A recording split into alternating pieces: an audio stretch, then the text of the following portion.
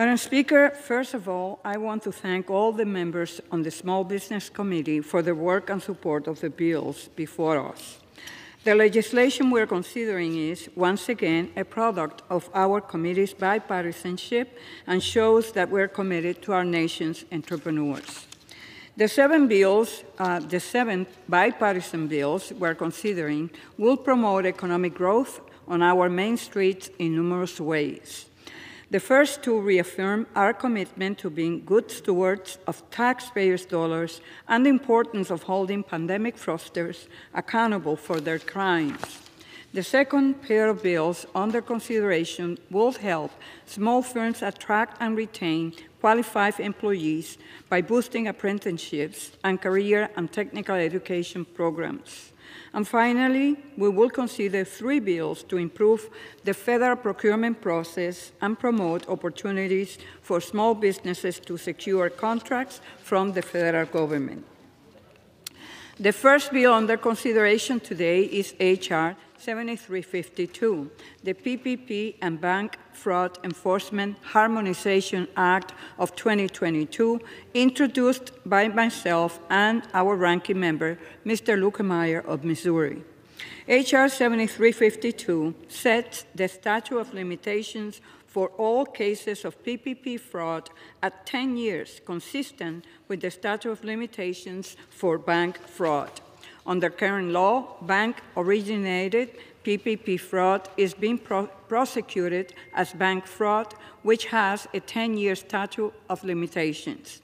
At the same time, PPP loans originated by non bank lenders, including fintech companies, are often prosecuted as wire fraud, which carries a five year statute of limitations.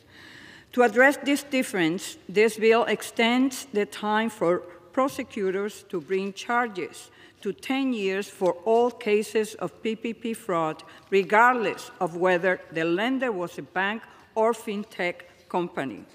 SBA Office of Inspector General identified over 70,000 PPP loans totaling over $4.6 billion in potentially fraudulent PPP loans, many of which originated with fintechs. According to researchers at the University of Texas at Austin, fintech companies handle 75% of PPP loans connected to fraud by the DOJ, despite originating only 15% of the loans overall.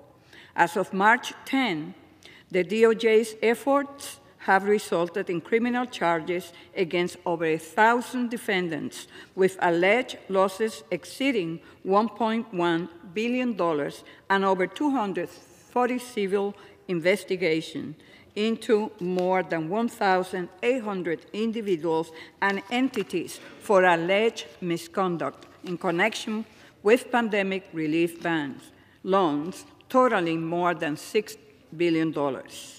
Given the extent of, of, potential fraud, especially among the subset of PPP loans originated by non-bank lenders, we must ensure prosecutors have enough time to fully investigate and bring fraud charges.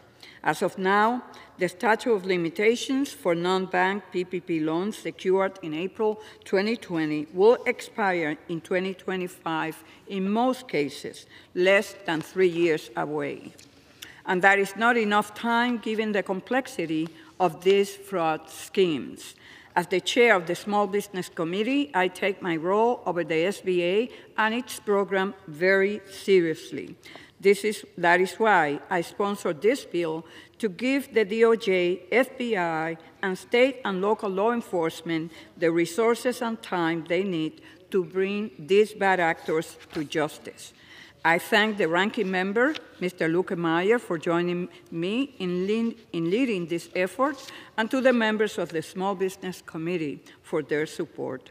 I urge my colleagues to support this bill, and I reserve the balance of my time.